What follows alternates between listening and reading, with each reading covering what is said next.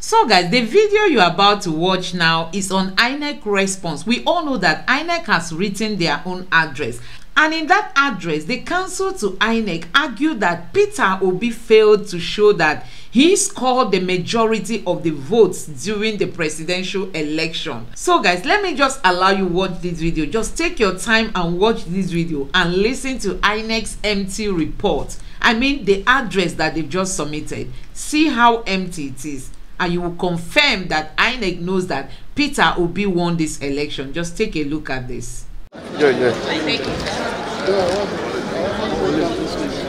The Independent National Electoral Commission INEC has argued that Labour Party's presidential candidate Peter Obi failed to show how he scored the majority of lawful votes during the 25 February presidential election. Obi, who came third in the election, had filed his petition at the Presidential Election Petition Court in Abuja to challenge the outcome of the polls on the grounds of allegations of electoral fraud, among other alleged irregularities. He urged the court to nullify President Bola Tinubu's victory in the poll.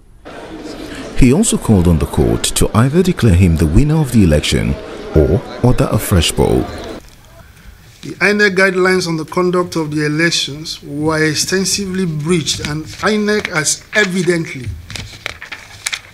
been very reluctant to make the necessary adjustment to remedy the situation.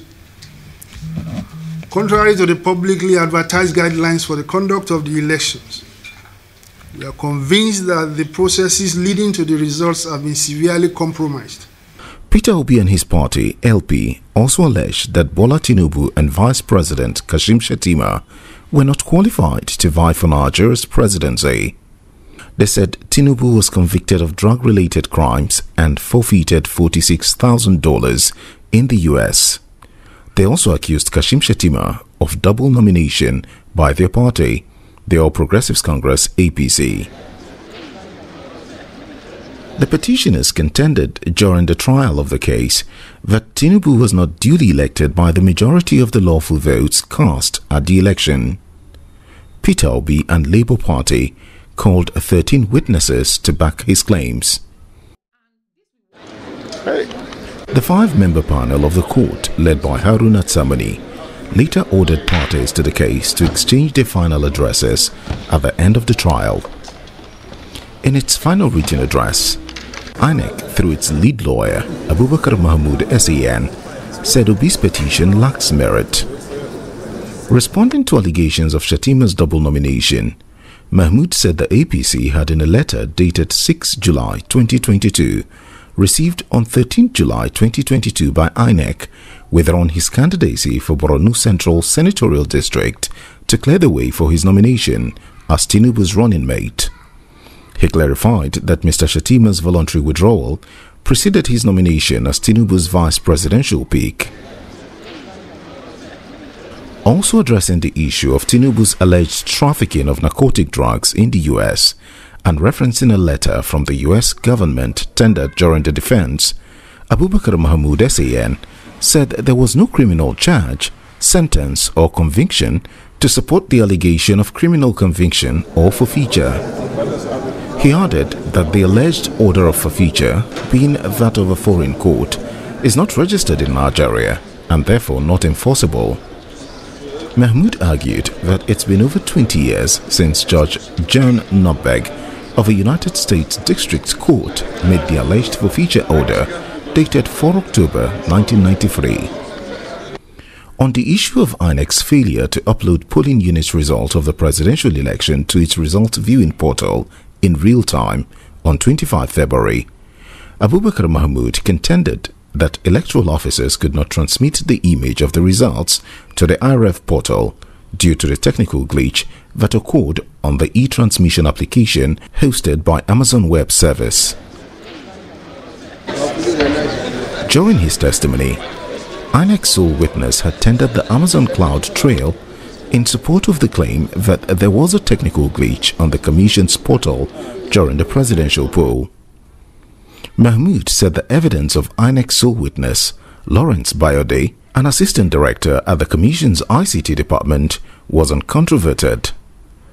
Mr. Bayode, during his testimony, stated that he was one of the persons who designed the INEC e-transmission system and helped resolve the technical glitch that occurred on election day. Petitioners Peter Obi and Labour Party neither pleaded nor demonstrated during the trial that unlawful votes of the second respondent, Bola Tinubu, be discounted from the computed scores of the parties, nor did they prove or present any lawful vote to be added to their own.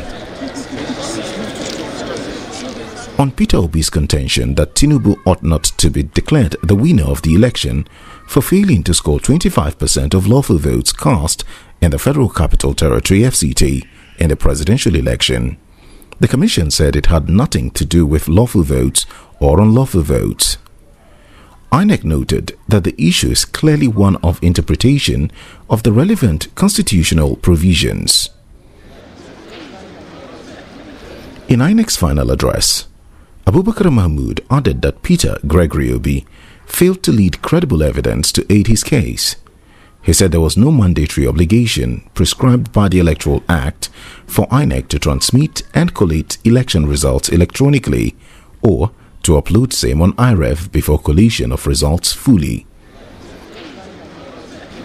In the court filing dated 14 July, Mahmoud SAN said the evidence presented by the petitioners, Peter Obi and the Labour Party, failed to make out a case that the second and third respondents that is, Tinubu and Shettima, are not qualified to contest the election.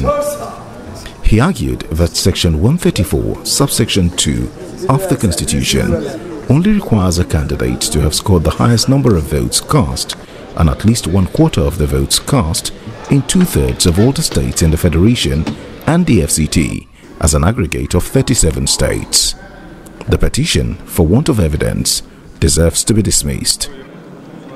So guys you can see how empty this address is. I mean the report written by inec you can see how empty it is. That peter obi couldn't prove that he won the election. We know that peter obi brought reasonable number of evidence before the court. So they cannot just use technicality and begin to say things that don't have meaning you know to say that peter obi does not have any evidence that he won this election. And also they try to claim that they had a technical glitch that glitch that they've still not explained to the nigerian people. So guys that is where we are today. Let me know what you think about this video in the comment section below. Please don't forget to subscribe to my channel and turn on the notification bell. Thank you